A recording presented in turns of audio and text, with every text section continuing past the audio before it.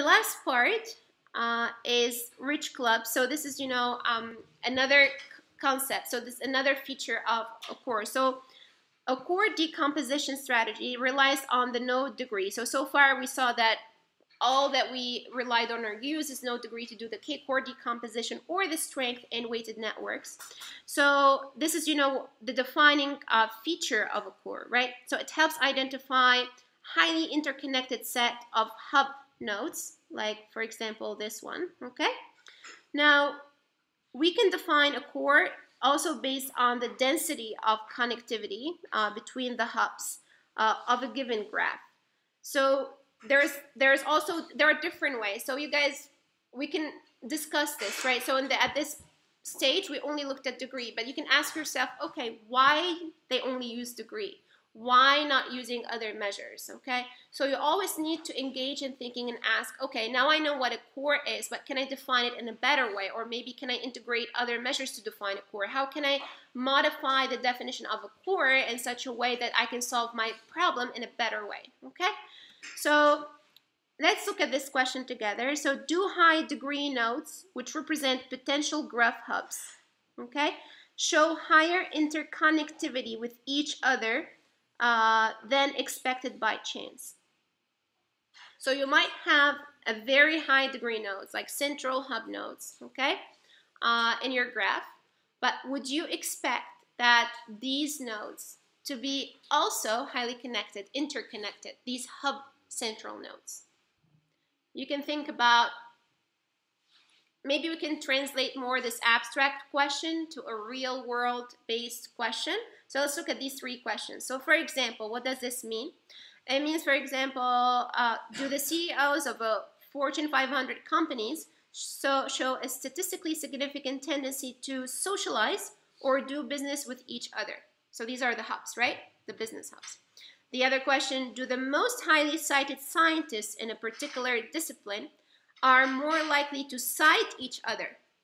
It's another question, right?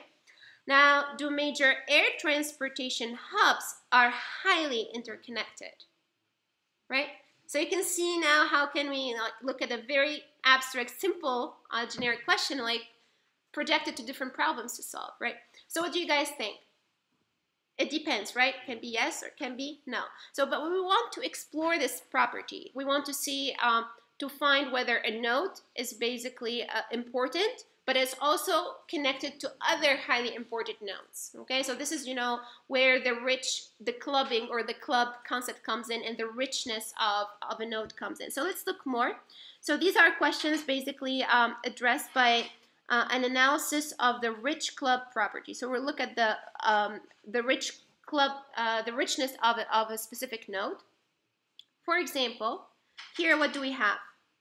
We have an unweighted, uh, unweighted graph, G, and the definition of the richest nodes, so basically they are defined as uh, the densely connected uh, nodes in the graph, which points to an interlinked core of high degree nodes. So when we call, we detected a rich club, it's a core, right? But the, the nodes within this core are their, their, their hubs in the whole in the network, but they're extremely highly interconnected, okay? Which means these hubs, they communicate uh, a lot. So uh, if you look at these two graphs, which one you think is richer? G1, right?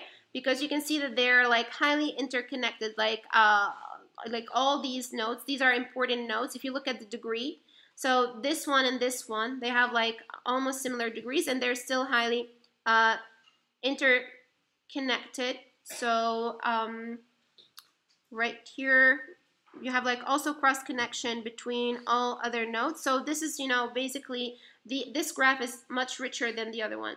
Now let's define it properly, how this is defined. So we define a rich club coefficient associated with each um, associated with each uh, graph and node. So phi of k at each level of degree k of a graph G, okay, is defined as uh, follows. So we can define the rich club coefficient of a graph at a level k or at a degree k.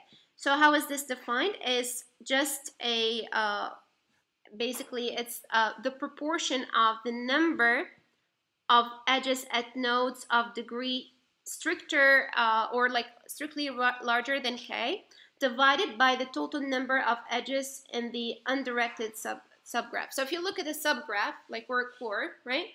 And then you want to quantify uh, or you want to compute its uh, the richness, uh, the rich club coefficient of this subgraph, okay?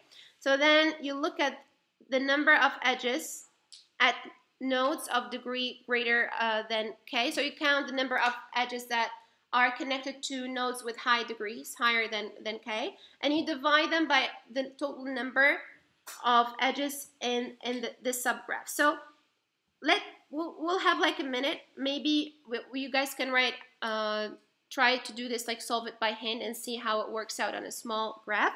But let's say if at level k you have phi of k, the, the coefficient, the richness coefficient is equal to zero. What does it mean?